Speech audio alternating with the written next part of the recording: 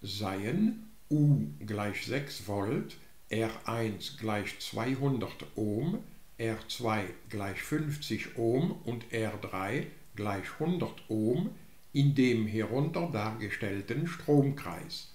Berechne R, I, U1, U2, U3, I1, I2 und I3. Die Angaben sind diese.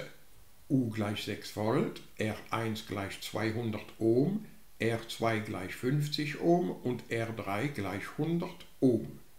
Wir suchen den Gesamtwiderstand R, den wir in Ohm ausdrücken, die Gesamtstromstärke I, die wir in Ampere ausdrücken, die drei Teilspannungen U1, U2 und U3, die wir jeweils in Volt ausdrücken, und die drei Teilstromstärken I1, I2 und I3, die wir jeweils in Ampere ausdrücken. Wir wissen, bei einer Parallelschaltung haben wir diese drei Formeln von Kirchhoff zur Verfügung. Die zweite Formel liefert sofort das 1 geteilt durch R12. R12 stellt den Gesamtwiderstand von R1 und R2 dar, gleich ist zu 1 auf R1 plus 1 auf R2.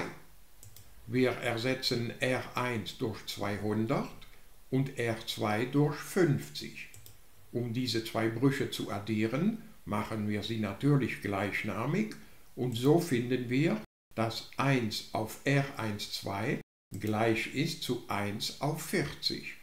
Also ist R12 geteilt durch 1 dasselbe wie 40 geteilt durch 1 und somit finden wir als Gesamtwiderstand dieser zwei Widerstände R1 und R2 40 Ohm. In einer Serienschaltung wissen wir, dass die Widerstände sich addieren. Das heißt, wir finden den Gesamtwiderstand R als Summe von diesem Widerstand R12 und dem Widerstand R3. Wir ersetzen R12 durch 40 und R3 durch 100 und somit finden wir als Gesamtwiderstand R von diesem Stromkreis 140 Ohm. Jetzt die Gesamtstromstärke I. Um die herauszufinden, nutzen wir die Ohmsche Formel U gleich R mal I, aus der wir sofort schließen, dass I U auf R ist. Wir ersetzen U durch 6 und R durch 140. Und somit finden wir als Gesamtstromstärke von diesem Stromkreis ungefähr 0,0429 Ampere. Jetzt berechnen wir die Spannung U3. Um die herauszufinden, nutzen wir das Ohmsche Gesetz, das hier besagt, U3 gleich R3 mal I3. Wir wissen, dass in einer Serienschaltung die Stromstärke konstant bleibt.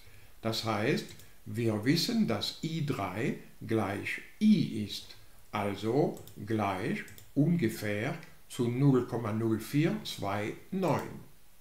Hier haben wir also schon die Teilstromstärke I3 herausgefunden. Jetzt machen wir weiter und kombinieren diese zwei Gleichheiten, die sofort führen zu U3 gleich R3, das heißt 100, mal I3, das heißt 6 auf 140 und somit finden wir für U3 ungefähr 4,29 Volt. Jetzt suchen wir noch U1 und U2. Dazu wissen wir, U1 ist gleich U2. Wir wissen aber auch, dass U1 plus U3 gleich U ist. Daraus schließen wir, dass U1 gleich U minus U3 ist. Wir ersetzen U durch diese 6 und U3 durch 4,29. Und somit finden wir für U1 1,71 also auch für U2. U1 beträgt ungefähr 1,71 Volt und U2 auch. Es bleiben nur noch I1 und I2 zu bestimmen. Das machen wir mit dem Ohmschen Gesetz zuerst für I1. Das Ohmsche Gesetz besagt, U1 ist R1 mal I1. Also ist I1 gleich zu U1 auf R1. Wir ersetzen U1 durch 1,71 und R1 durch 200. Und so finden wir schnell, dass die Stromstärke I1 ungefähr gleich ist zu 0,00855 Ampere. Jetzt I2. Wir machen genau dieselbe Überlegung. Das Ohmsche Gesetz besagt, dass I2 U2 auf R2 ist. Wir ersetzen U2 durch 1,71 und R2 durch 50. Und somit finden wir rasch, dass die Teilstromstärke I2 ungefähr 0,0342 Ampere beträgt.